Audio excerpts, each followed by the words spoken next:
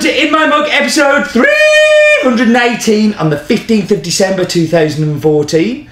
I am your host, Stephen Leighton. Welcome to In My Mug and welcome to my news. Don't know where that voice came from. so, um, this is the final um, presentation box uh, for Alejandro's special special packs. This is a once in a coffee lover's lifetime opportunity to win the five different processes we did on this one small one acre tablon. If you don't want to know what I'm talking about, go back to episode 316 and Ali talks about these. I've also done a podcast on it, an Audioboo. Uh, I'm going to put that on the screen now, a link to that. But um, all of the different ones, you get the presentation. You also get a little booklet, and in that booklet, it tells you uh, a little bit about my relationship with Ali.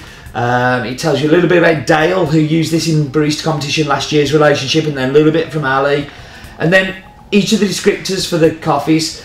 This is pretty unique. I mean, look at the box itself. The box is amazing. I'm so excited. A little magnetic.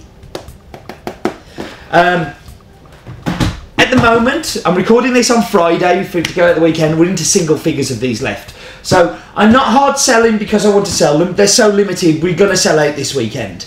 I'm really just selling, telling you, you do not want to miss out. This is a great, great opportunity. Um, yes, golden tickets. Who got one? Um, you have two weeks in which to use your golden ticket, um, or as soon as it sells out, which we do have a limit on how many of this uh, special secret subscription um, there are. Uh, I'm sure you will want one. They are very special. It's going to be pretty cool if you look at the last two years of these one-off subscriptions we do every year, they're normally pretty amazing. They normally lose me a heap of money too, um, but they're lots and lots of fun, and I like to have lots and lots of fun. Um, so if you haven't had a golden ticket, drop me an email, drop me a text. Might be able to sort you out with a digital one. Just ask me we'll sort you out. Um, if you're watching my mug, then you deserve a golden ticket because you are one of the uh, the very special few customers um, that we have that you know kind of watch all of this stuff. So yeah, do drop me an email or drop me a tweet or anything. We'll sort it out. And it's all about Christmas at the minute, but have you seen our 12 Days of Christmas? Go to www.hasblog.co.uk uh, and you'll be able to see where we're up to. Uh, did day six on Friday, uh, but before that, day five was pretty immense. A super interesting honey pack. Um, that will not definitely won't be in, my mug. There's a, a very very rare geisha in there as well. Uh, and you can buy them all together. So if you bought them separately, it's about 40 quid for these five coffees. Um, but if you buy them together, you get 20% off, um, which I think is uh, really good value. And great to try a white honey, a red honey, a black honey, a washed, and a black honey geisha, all from the same farm. And they're all Bourbons as well, which is pretty, pretty awesome. Um, and that was the news. And while I'm talking about Bourbon, why don't we do a focus on this week on the Bourbon varietal?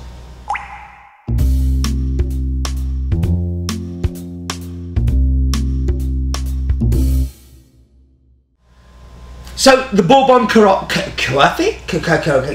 varietal uh, is believed to have originated on the island of Bourbon, uh, which is now known as the island of uh, Reunion, or maybe in Ethiopia. It's a little bit kind of sketchy.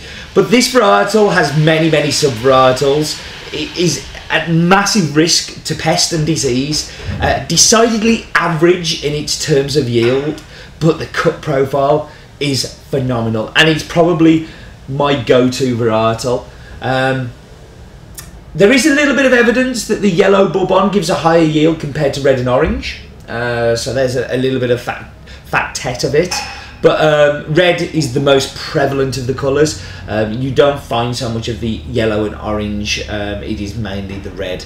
Um, has very, very close links with things like SL28, Typica, Caturra, um, also of uh, Mundo Novo, um, of Pacas. Uh, like It's DNA's all over lots and lots of other varietals. And that's mainly because of its age and also because a lot of it has mutated as it's gone on but also a lot of times it's been cut into different plants to try uh, and keep the cut quality while uh, improving the yield um, I I don't think that it's a coincidence that some of my favourite all-time coffees come from the Bourbon varietal. I think there's definitely something in that it produces a much sweeter cup, a more rounded cup, and a more uh, balanced cup than some of the other varietals. Particularly lends itself well anecdotally to espresso. Uh, I tend to find that a Bourbon a definitely a washed or a pulp natural bourbon, uh, actually even a natural. Now screw it, all of them um, tend to produce uh, great espresso based drinks, um, and I think a lot of that is down to. Uh, the characteristics that it has of it's sweet, balanced, rounded, smooth. Um, you know, chocolate is always a very big descriptor in them, in there, and that was focus on.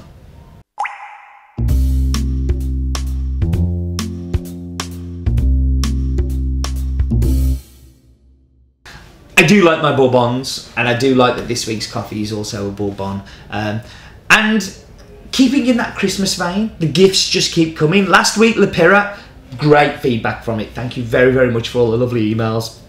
Uh, I'm sure we'll get just as many about this week's. Last week's was £12 a bag, this week's 15 quid a bag. I don't know why I do these things. Um, I, I, mean, I know a lot of the time on the subscriptions we end up losing lots of money, but I don't care because this is from one of my all-time favourite coffee farms, and it's coming back after a couple of years away from us. Um, and I'm very, very happy to see it back. I, I, I welcome it back with a big, huge smile. Um, it really is a super special coffee. In fact, I often get asked a lot of the time what is my favourite coffee of all time, and I don't say because for me, it's like saying who's your favourite child. I only have one child, so I guess that's not a great analogy, but do you know what I mean. It's like saying, you know, who's your favourite auntie? Well, you know, they're, they're all different and you like them all. Um, but I tend to give a list of three, and this is definitely one that is always, always in there.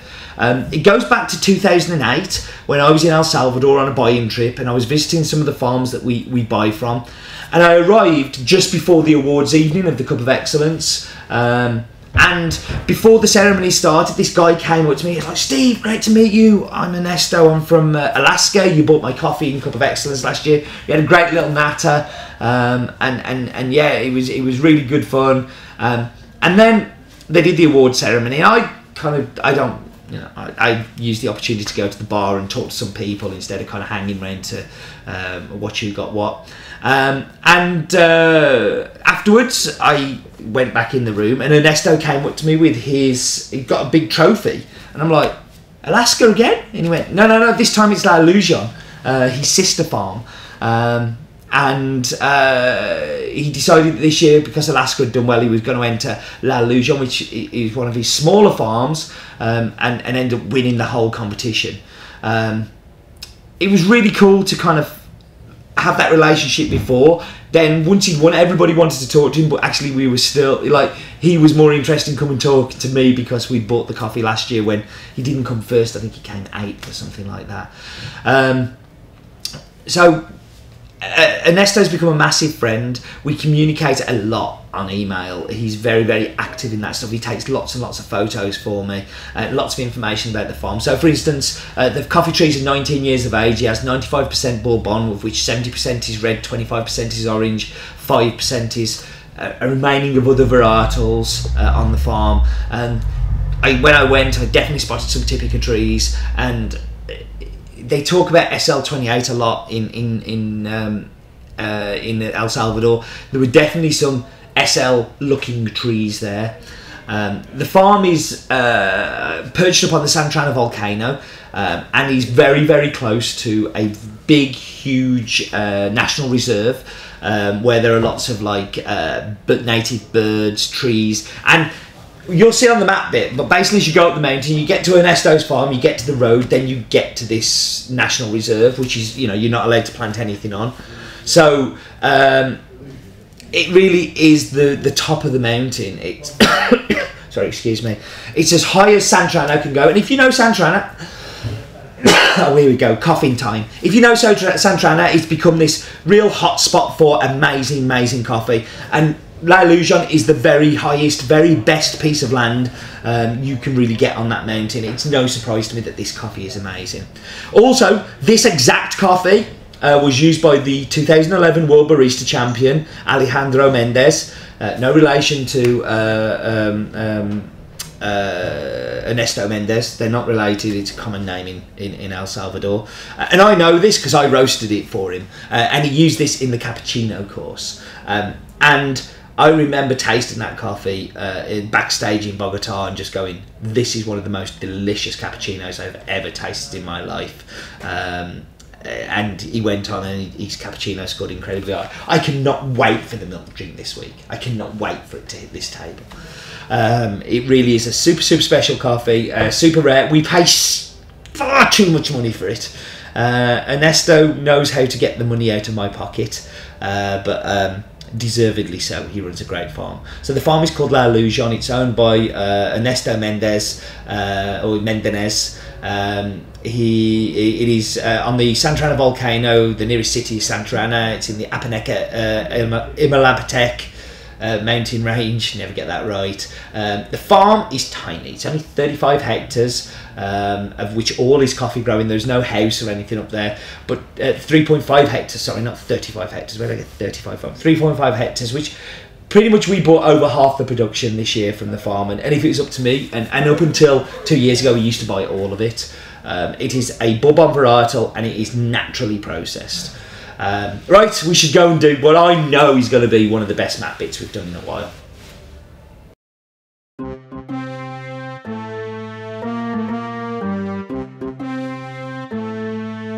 This is going to be exciting. I've been looking forward to this map bit for ages and ages. I can't wait to do it. So let's go up, up and away and uh, look down upon this fine island that majority of us live. Actually, there's more Americans watching now because of our American subscriptions, but that's where we live, by the way, Americans, because I know you don't know the rest of the world. So there's Central America. You see, this is just learning and learning for all of our American friends. Um, this is a place that's just below you. Uh, you can drive there, um, and we're going to go down to. Sorry, Americans, I do love you, really. Uh, we're going to go down to El Salvador. And our fact this week is there are over 6 million people that live in El Salvador, and it's considered one of the most poply populated places uh, or most densely populated places in Central America.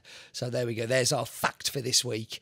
Um, but let's get down to this farm because uh, this is somewhere I've known really well since like 2008, uh, but haven't been for a little while.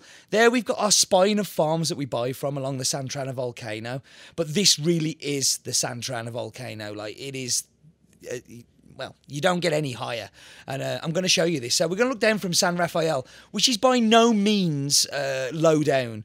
Uh, but you can see there, the lowest point Pacific, the highest point is 2,730 metres.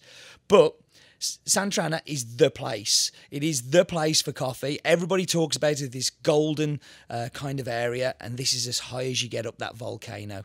Um, so let's just whiz round, and I want to kind of show you San Rafael from um, from La Ilusion. And it's really good that you can kind of just see where it is. And then just to the right there, we've got Alaska, um, which is uh, another one of Ernesto's farms um, that I've also bought coffee from in the past. I was telling you in the in my mug, we bought it from the Cup of Excellence in 2008. So let's just go across here to Alaska, just so I can show you very smoothly. Look, so there's Alaska, and um, let's just kind of zoom up a little bit here. I want to take you to the volcano, so I'm going to try and whiz this round. So bear with me. Oh, you see that little click there? That's on Google Maps. That think FCA La Ilusion. It's that famous a farm. It has its own Google little link on it, which I thought was quite cool. Let's get to this volcano. So this here is the national park I was telling you about. Um, that uh, it, you can't plant anything on. And the reason it's the national park from the volcano, because there it is. So you can see it's really close to the top of that crater of one of the most famous growing regions in one of the most famous um, coffee farms. So that's for me is one of my favourite favourite map bits. Uh, I hope you enjoyed it too. Super, super, super cool map bit. I, I like one of my faves. Uh, I love the fact that we can see all the other farms from there as well, and it gives you a really good idea of context of where it is. So let's go and hear what wonderful fact Roland has to say today.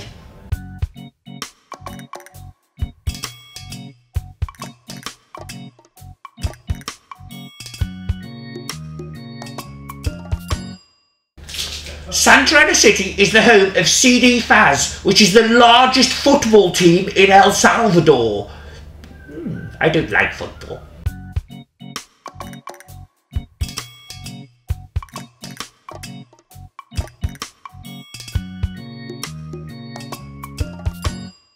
It's true. He doesn't like football. He's fact very, very anti-football. Right, I'm going to whack you on pause. I've got tasting delicious drinks being made for me as we speak, and I'll be back with you in just a moment. So I am back. I'm going to dive straight into the espresso. So you can smell on this. It just smells of strawberries. It's like huge strawberries. And it's there.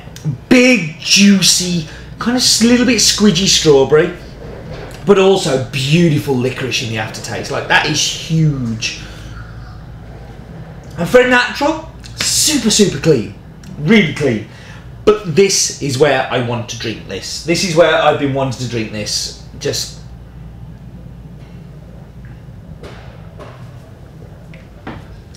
powers through. Punch it like fighting for its life through the cup. And you just get this delicious strawberry milkshake. It is just amazing. If you like strawberry milkshakes, you will love this cappuccino. Best, like we are in December, best cappuccino of the year, without doubt. Best cappuccino, hands down. If I was a barista competing in barista competition, that is what I, what I would give them. There you go. Little tip for aspiring baristas. Coffee, milk, delicious, smooth, amazing. Right, so it's having its second outing. We're still in Christmas, so we're going to keep drinking out the Christmas mug. And that dilution opens it up a little bit. And what happens? It becomes sweeter. Super sweet, actually. Um, becomes cake-like. It's and and listen, I don't know, but for me, it reminds me of red velvet cake. That beautiful, mushy, kind of soft, gentle, fluffy texture um, and taste, and the strawberry and that whole milkshake thing still there. The licorice is much more subdued in the brew than it is in these two. Um, but it is an amazing, and I think you can see why this coffee is so expensive. This for me shows where the value is in it. I think it is an amazing, amazing coffee. Listen, thank you for joining me. As always, hopefully one that will get on Facebook this week because they've all been too long for Facebook recently. So uh, try to keep it under 20 minutes. Thank you very much for joining me. Uh, do keep watching the days, uh, the 12 days of Christmas. It's happening on hasblog.co.uk. And do remember, life is definitely too short for bad coffee.